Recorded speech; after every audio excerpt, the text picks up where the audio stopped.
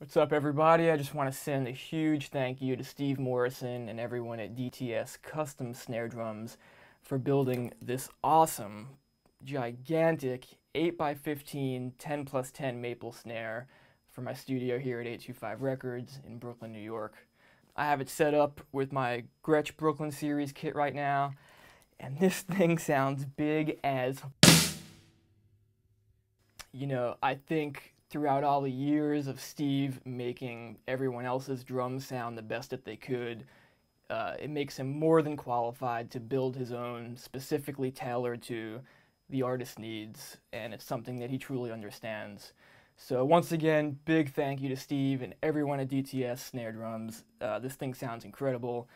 We're at that point now where if I keep talking about it and don't play it, I will go crazy. So be well, everyone.